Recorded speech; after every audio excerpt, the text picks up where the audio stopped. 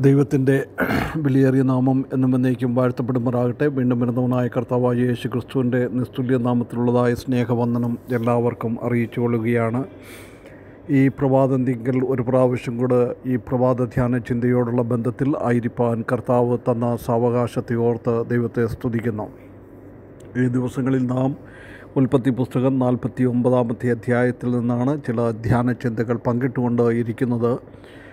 Israel യാക്കോബ് തന്റെ മക്കൾക്ക് കൊടുക്കുന്ന വാക്കുകൾ അന്ത്യ വാക്കുകളാണ് ഇവിടെ നാം കണ്ട് കണ്ടുകൊണ്ട് ഇരിക്കുന്നത്. അതിന്റെ ഇരുപതാമത്തെ വാക്യം വരെ നാം ചിന്തിക്കുകയുണ്ടായി. ഇന്ന് നമുക്ക് ഇരുപത്തി ഒന്നാമത്തെ വാക്യം നമുക്ക് നോക്കാം. ഇരുപത്തി ഒന്നാമത്തെ വാക്യത്തിൽ നാം കാണുന്നത് നപ്താലിയെപ്പറ്റി പറയുന്ന രംഗമാണ്. പതിനാറ് മുതൽ ഇരുപത്തിയൊന്ന് വരെയുള്ള വാക്യങ്ങളിൽ യാക്കോബ് തന്റെ ഭാര്യമാരുടെ ദാസിമാർ മുഖാന്തരം ഉണ്ടാകുന്ന കുഞ്ഞുങ്ങളെ പറ്റിയാണ് പറയുന്നത്. ദാന് ഗാദ് അഷേർ അതുപോലെ തന്നെ അവസാനത്തേതാണ് നപ്താലി അവിടെ നാം വായിക്കുന്നത് ഉൽപ്പത്തി പുസ്തകം നാൽപ്പത്തി ഒൻപതാം അധ്യായം അതിന്റെ ഇരുപത്തി ഒന്നാമത്തെ വാക്യം. നപ്താലി സ്വതന്ത്രയായി നടക്കുന്ന പേടമാൻ. അവൻ ലാവണ്യ വാക്കുകൾ സംസാരിക്കുന്നു. നപ്താലിയെപ്പറ്റി പറഞ്ഞിരിക്കുന്ന വാക്യം. നപ്താലിയെ അനുഗ്രഹിക്കുകയാണ്. നപ്താലി സ്വതന്ത്രമായി നടക്കുന്ന ഒരു പേടമാന് തുല്യമാണ്. നപ്താലിയുടെ അനുഗ്രഹിക്കപ്പെട്ട അവസ്ഥ ഇവിടെ നമുക്ക് കാണാം. മാത്രമല്ല അവൻ ലാവണ്യ വാക്ക് സംസാരിക്കുന്നവനാണ്.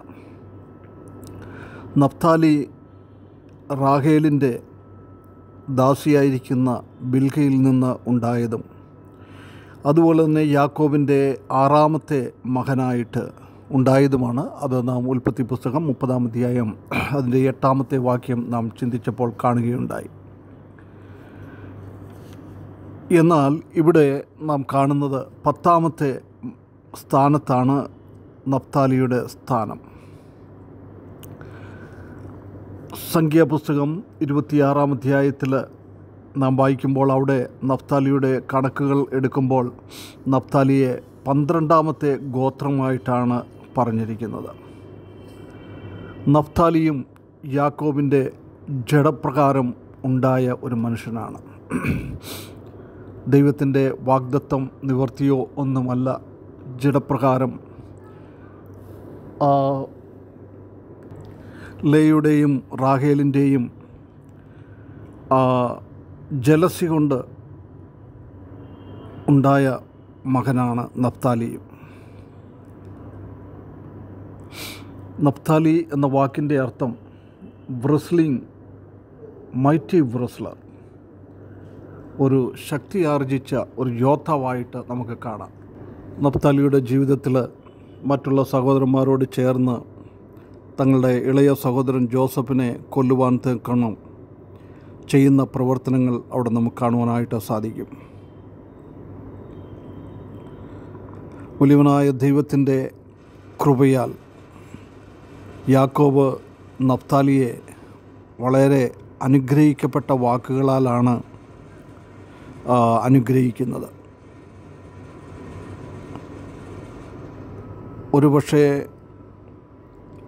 ദൈവത്തിന്റെ ആ കരുണയും ദൈവത്തിന്റെ ആ അനുഗ്രഹങ്ങളും നഫ്താലി ദുരുപയോഗപ്പെടുത്തി എന്ന് വേണം നമുക്ക് പറയുവാനായിട്ട് സാധിക്കുന്നത്. നഫ്താലിയുടെ ഗോത്രവും മണലാരുണ്യത്തിലൂടെയുള്ളതായ യാത്രയിൽ കുറഞ്ഞു പോയത് നമുക്ക് കാണുവാനായിട്ട് സാധിക്കും. സിനായ് പർവതത്തിൽ വെച്ച് ജനസംഖ്യ എടുക്കുമ്പോൾ അൻപത്തി മൂവായിരത്തി നാനൂറ് പേരുണ്ടായിരുന്നു. എന്നാൽ മിസ്രൈമിൽ നിന്ന് തിരിച്ചു വന്ന് ആ മിസ്രൈമിന്റെയും കനാൻ ദേശത്തിന്റെയും അതിർത്തിയിൽ വെച്ച് കണക്കെടുക്കുമ്പോൾ നാൽപ്പത്തയ്യായിരത്തി നാനൂറ് യോദ്ധാക്കളെ നമുക്ക് കാണുവാനായിട്ട് സാധിക്കുകയുള്ളൂ. സംഖ്യാപുസ്തകം ഒന്നാം അധ്യായം നാൽപ്പത്തി മൂന്നാമത്തെ വാക്യത്തിലും അതുപോലെ തന്നെ ഇരുപത്തിയാറാം അധ്യായം അമ്പതാമത്തെ വാക്യത്തിലും നമുക്ക് കാണാം. എണ്ണായിരം പേര് കുറഞ്ഞുപോയി. ഏതാണ്ട് പതിനഞ്ച് ശതമാനം ജനങ്ങൾ കുറഞ്ഞുപോയി. പലരും കൂടുകയുണ്ടായി എന്നാൽ ചില ഗോത്രങ്ങൾ കുറഞ്ഞു പോവുകയുണ്ടായി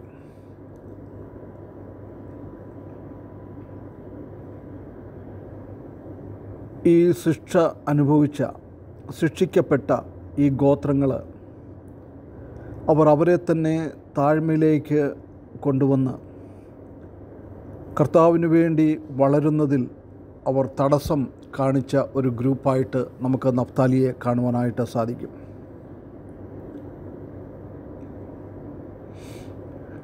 ഇവരുടെ ആ കൈപ്പേറിയ അനുഭവങ്ങളും അതുപോലെ തന്നെ മറ്റുള്ളവരോട് മത്സരിക്കുന്ന ആ മനോഭാവങ്ങളും വീണ്ടും അവരെ താഴ്ന്ന അനുഭവത്തിലേക്ക് ആൾക്കാർ കുറയുന്നത് കാണുവാനായിട്ട് നമുക്ക് സാധിക്കും. മോശ ഇസ്രായേൽ മക്കളെ അനുഗ്രഹിക്കുമ്പോൾ ആവർത്തന പുസ്തകം മുപ്പത്തി മൂന്നാം അധ്യായത്തിൽ ഈ അനുഗ്രഹം നമുക്ക് അവിടെ കാണുവാനായിട്ട് സാധിക്കും. ആവർത്തന പുസ്തകം മുപ്പത്തി മൂന്നാമധ്യായം അതിന്റെ ഇരുപത്തി മൂന്നാമത്തെ വാക്യം. ഇപ്രകാരമാണ് അവിടെ പറഞ്ഞിരിക്കുന്നത്. നപ്താലിയെക്കുറിച്ച് അവൻ പറഞ്ഞത് നപ്താലിയെ പ്രസാദം കൊണ്ട് തൃപ്തനും യഹോവയുടെ അനുഗ്രഹം നിറഞ്ഞവനുമായി പടിഞ്ഞാറും തെക്കും കൈവശമാക്കുക. നമുക്ക് ഇവിടെയും നപ്താലിയെപ്പറ്റി നല്ലൊരു കാര്യങ്ങളാണ് പറയുന്നത്. ദൈവപ്രസാദം ലഭിച്ചവൻ ദൈവസന്നിധിയിൽ തൃപ്തനായിരിക്കുന്നവൻ. യഹോവയുടെ അനുഗ്രഹം നിറഞ്ഞതായ സ്ഥലം ലഭിച്ചവൻ. അപ്പോൾ ആ രീതിയിലും നപ്താലിക്ക് നല്ല ഒരു സ്ഥാനം മോശയും പറയുന്നത് കാണുവാനായിട്ട് സാധിക്കും. അവന്റെ ജീവിതത്തിലും ഉയർച്ച അല്ലെങ്കിൽ നല്ല ഒരു അനുഭവം അവിടെയും നമുക്ക് കാണുവാനായിട്ട് സാധിക്കും. ഈ നഫ്താലി കനാന്യരെ തോൽപ്പിക്കുന്നതിൽ പ്രവർത്തനം ചെയ്തിട്ടുണ്ട്. അങ്ങനെ അവർ പടിഞ്ഞാറ് ഭാഗത്തുള്ളതായ ഗലീലയിൽ കാണുന്ന ആ സ്ഥലം ഇസ്രായേൽ മക്കളുടെ ഇടയിലെ ഏറ്റവും നല്ല കൃഷിസ്ഥലമാണ് ആ സ്ഥലം എന്ന് പറയുന്നത്. അങ്ങനെ ആ നല്ല കൃഷിസ്ഥലമാണ് ഇവർക്ക് ലഭിച്ചത്. ദൈവം അവർക്ക് കൊടുത്ത അനുഗ്രഹം. സംഖ്യാപുസ്തകം ഒന്നാം അധ്യായം മുപ്പത്തി മൂന്നാമത്തെ വാക്യത്തിൽ കനാനിയരെ മുഴുവനായിട്ട് നശിപ്പിക്കണം എന്ന് അവർക്ക് ആജ്ഞ കൊടുത്തു. എന്നാൽ അത് അവർക്ക് പൂർണമായിട്ട് അത് ചെയ്യുവാനായിട്ട് സാധിച്ചില്ല. അതുകൊണ്ട് വരും കാലങ്ങളിൽ ആ ജാതികളാൽ ഇവരെ പ്രയാസപ്പെടുത്തുന്നത് നമുക്ക് രണ്ട് രാജാക്കന്മാർ പതിനേഴാം അധ്യായം ഏഴ് മുതൽ ഇരുപത്തിമൂന്ന് വരെയുള്ള വാക്യങ്ങളിൽ നമുക്ക് കാണുവാനായിട്ട് സാധിക്കും. മാത്രമല്ല അതിന്റെ അവസാന ഭാഗത്ത് കാണുന്നത് അവർ ലാവണ്യവാക്ക് സംസാരിക്കുന്നു. ഇതിൽ നിന്ന് നമുക്ക് കാണുവാനായിട്ട് സാധിക്കുന്നത് കർത്താവായ യേശു ക്രിസ്തു ഈ ഭൂമിയിൽ പരസ്യ ശുശ്രൂഷ ചെയ്തപ്പോൾ ഈ നഫ്താലിയുടെ ദേശത്താണ് കൂടുതൽ അവൻ ജോലി വേല ചെയ്തത്. കബർന്നഹൂമിൽ അതുപോലെ തന്നെ നസറേത്തിൽ. ഇവിടെയൊക്കെ ഇത് നഫ്താലിയുടെ അതിർത്തിയിലുള്ള സ്ഥലമായിരുന്നു. അപ്പോൾ ദൈവം ഈ പ്രദേശത്ത് ലാവണ്യവാക്കുകൾ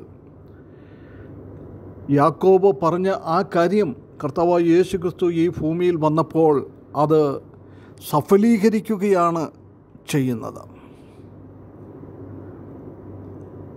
കർത്താവിന്റെ ആ ശുശ്രൂഷ അതാണ് ഇവിടെ പറഞ്ഞിരിക്കുന്നത്. പ്രിയ വിശ്വാസികളെ വളരെ അനുഗ്രഹങ്ങൾ ഈ നപ്താലിക്ക് ലഭിച്ചു. എന്നാൽ അതനുസരിച്ചുള്ളതായ ആ അവന് ദൈവത്തിന് വേണ്ടി ശോഭിക്കുവാനായിട്ട് കഴിഞ്ഞില്ല. വലിയവനായ ദൈവം നമ്മളെയും ധാരാളമായിട്ട് അനുഗ്രഹിച്ചിട്ടുണ്ട്. പക്ഷേ ദൈവം തരുന്ന ആ കാര്യങ്ങൾ എത്രമാത്രം ദൈവനാമ മഹത്വത്തിന് വേണ്ടി നാം ഉപയോഗിക്കുന്നു എന്നുള്ളത് ചിന്തിക്കേണ്ടിയാണ്. അതോ നഫ്താലിയെ പോലെ ദൈവത്തിന് തരുന്ന അനുഗ്രഹങ്ങൾ നമ്മുടെ സ്വന്തം ആവശ്യത്തിന് വേണ്ടിയാണോ നാം ഉപയോഗിക്കുന്നത്? ഇത് നമ്മുടെ ജീവിതത്തിലും ഒരു ചോദ്യചിഹ്നമായി ഇരിക്കട്ടെ. നപ്താലിയുടെ പ്രദേശത്ത് നിന്ന് ലാവണ്യ വാക്കുകൾ വന്നതുപോലെ നമ്മുടെ ജീവിതത്തിൽ നിന്നും ലാവണ്യ വാക്കുകൾ മറ്റുള്ളവരെ സാന്ത്വനപ്പെടുത്തുന്ന വാക്കുകൾ വരുവാൻ ദൈവം നമ്മെ സഹായിക്കട്ടെ.